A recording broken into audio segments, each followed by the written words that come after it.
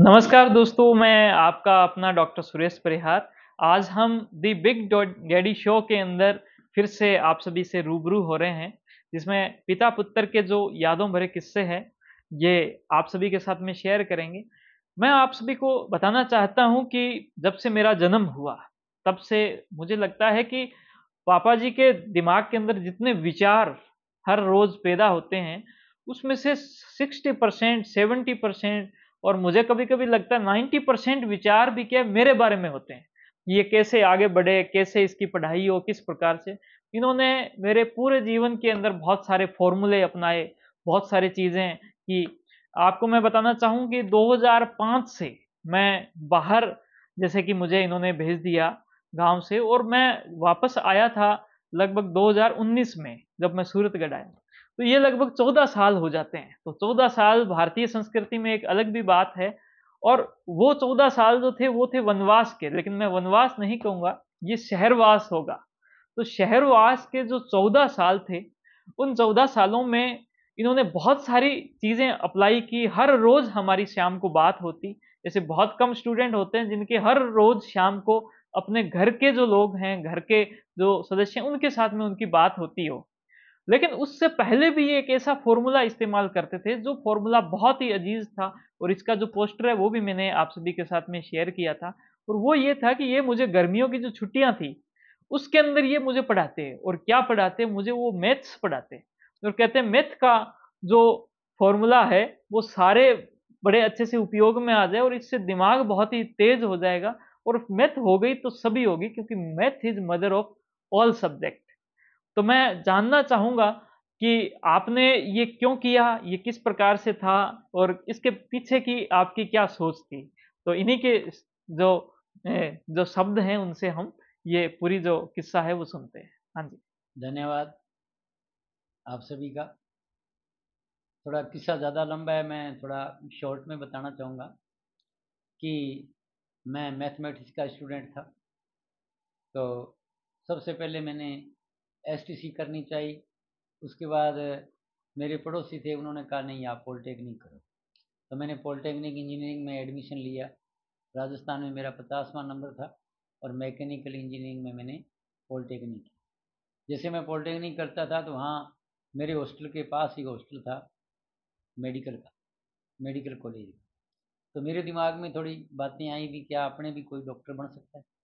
ऐसे विचार मेरे दिमाग में, उन्नीस सौ चौरासी पचासी छियासी सत्यासी तक आते रहे फिर मेरा छोटा भाई था, रजीराम। मैंने उसको बायो दिलवाई, डॉक्टर बनाने की कोशिश की। उसने भी प्रयास किया, लेकिन सफल नहीं हो सका। लेकिन फिर भी उसने B S C M S C B Ed Chandigarh से की, वो सेकंड ग्रेड टीचर बन फिर एक और मेरा छोटा भाई था अंकल जी का लड़का। मैंने उसका भी प्रयास किया। उसको भी मैंने डॉक्टर बनाने की प्रयास किया, लेकिन वो भी टीएमटी में सेलेक्ट नहीं हो पाया। उसके बाद 1990 में सुरेश का जन्म हुआ। फिर मैंने इस पर ध्यान देना शुरू किया। तो मैंने सोचा, अब इसको मैं घर पर पढ़ाऊँ। मैं मैथमेटिक्स था तो था ही, साइंस भी था, इंग्लिश भी मैं स्कूल में पढ़ाया करता था। तो मैंने तीनों सब्जेक्ट इसको पढ़ाता लेकिन खास करके मैथ पर मेरा ज़्यादा ध्यान था, क्योंकि मैथ मेरा जो सब्जेक्ट है, वही सब्जेक्ट सर उस पर मेरी अच्छी पकड़ थी और मुझे उसमें कुछ ज़्यादा ही इंटरेस्ट था, क्योंकि मैं मैथमेटिक्स से था। इंजीनियरिंग भी मैंने मैथ में की थी। मान के चलो।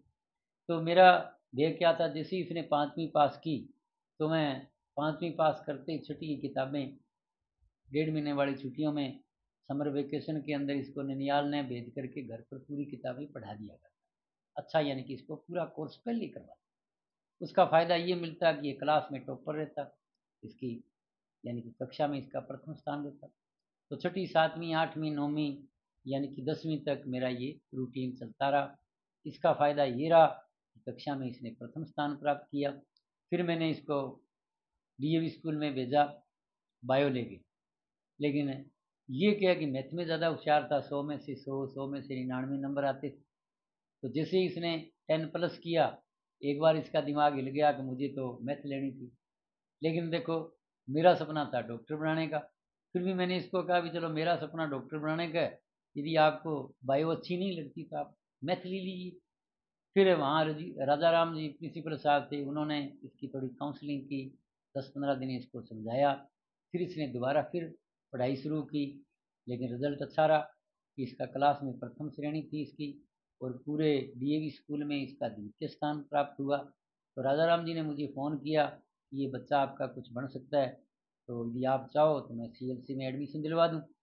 मैंने कहा, कोई बात नहीं, चलो आप सी एल सी क्या दिलवाएँ, फिर एडमिशन दिलवाना है, कोचिंग करवानी है तो एल में करवाएँ। तो मैंने कोटा इसको एल में भेजा। उसके लिए मैंने थोड़ी प्री प्लानिंग बनाई।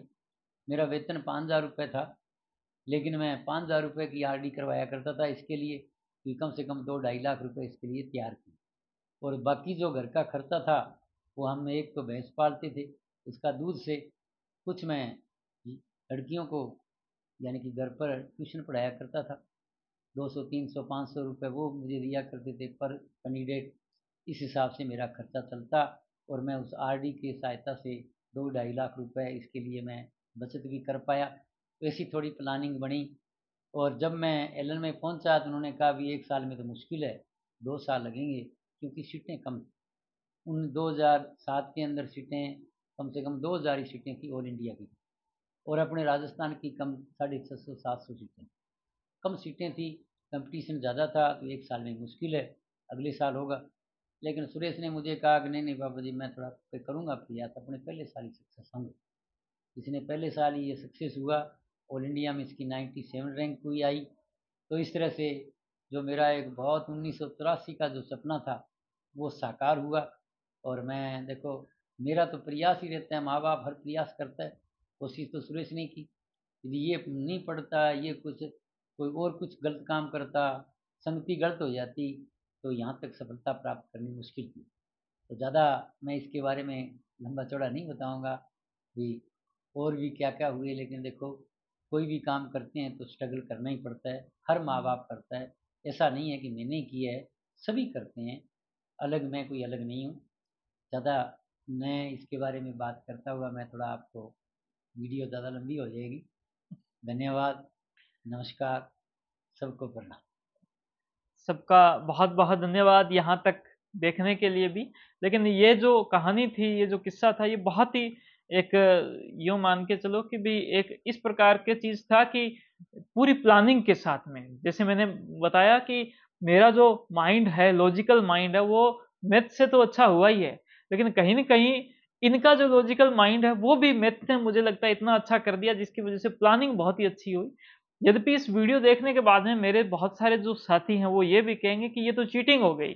कि भाई हम तो जो है, डेढ़ महीने में पढ़ते नहीं थे और इसको डेढ़ महीने के अंदर पढ़ा दिया जाता था तो ये तो चीटिंग हो गई। तो मैं उनको भी कहना चाहता हूँ कि भाई चीटिंग तो कहीं ना कहीं इन्होंने की है, मेरा इसमें योगदान कम है। लेकिन मुझे एक बात याद है कि जब मैं जब मैं मतलब करीबन उस टाइम में होगा 2004 की बात है, और जब मैं यहाँ पर दसवीं क्लास में था तो पूरे गाँव के जो बच्चे थे, उनको मैं मैथ पढ़ाया करता था। तो पूरे गाँव के बच्चों को मैथ पढ़ाना तो इससे क्या मेरा जो सेल्फ कॉन्फिडेंस है, वो भी क्या कि बहुत ही ऊपर जाता। दूसरा, जब स्कूल के अंदर होते तो मैथ का कोई भी सवाल हो, वो टीचर से पहले मैं उसको सॉल्व कर दिया करता था। कि टीचर ने वो जो सवाल है, टीचर का सवाल बाद में होना चाहिए, पहले मेरा होता सॉल्व। तो ये जो चीज़ है वो इन्हीं की वजह से संभव हुई, ये जो इनकी प्लानिंग है उसकी वजह से ये संभव हुई। इसके अलावा कोई भी सवाल है उसको सॉल्व करना मेरे लिए खेल के बराबर था कि जैसे मतलब गेम होता है कि भाई मैं इस गेम को जब तक जीत नहीं लूँगा, तब तक मैं इसको छोड़ूँगा नहीं। वैसे ही मेरा ये होता कि जब मैं, जब तक मैं मेरा जो सवाल है उसको पूरा नहीं कर लेता, तब तक ना कुछ खाना खाऊँगा, ना कुछ कोई मैं कुछ पीऊँगा, पानी पीऊँगा। तो ऐसा जो एक जो माइंड जो है वो डेवलप करने में इनकी जो प्लानिंग है इसका बहुत ही एक अहम योगदान रहा है। आप सभी ने ये पूरा किस्सा सुना ये पूरा एपिसोड सुना। बहुत बहुत धन्यवाद। मिलते हैं आगे एक ऐसे ही एपिसोड में। तो तब तक के लिए बहुत शुक्रिया बहुत थैंक यू जय हिंद जय भारत। धन्यवाद। धन्यवाद।